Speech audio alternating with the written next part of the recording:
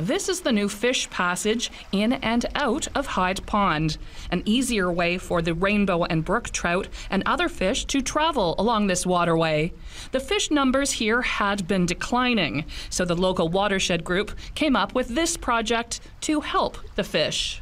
They are born in freshwater, so Hyde Creek upstream of Hyde Pond, and then they live there for a few years and then migrate to the ocean to grow and feed, and then they'll come back to where they were born in freshwater to spawn and reproduce. It's important that these fish have access to this habitat to reproduce for their populations. This fish passage had been here for decades, replaced now by the new one. This pond has been a popular destination for years. Yeah, so growing up in, in Cornwall in, uh, in, in the 80s and 90s, and obviously generations before me, uh, the pond has been utilized quite a bit for swimming, fishing, uh, hockey in, in the wintertime.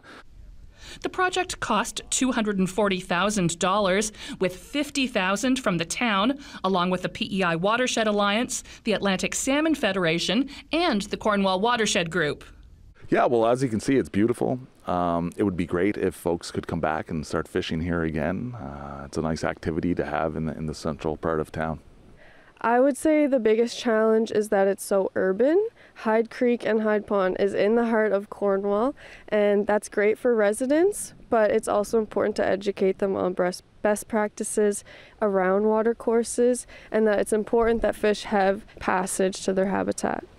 The Watershed Group has also added a repeat photo station. Residents are encouraged to take photos of the pond throughout the seasons. Having them be our eyes on the pond and sharing that information with us is really important. Hannah McLean hopes residents appreciate the improvements at the popular pond. We put in a lot of effort for improving this ecosystem and not just for the fish but also for the community that they can enjoy this area for fishing and bird watching and other recreational activities. Nancy Russell, CBC News, Cornwall.